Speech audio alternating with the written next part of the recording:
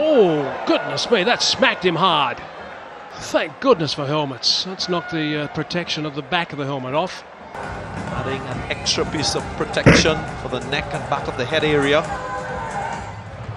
In the end, it's a dot ball, 13 runs from it, and a bruise. 136 for 5.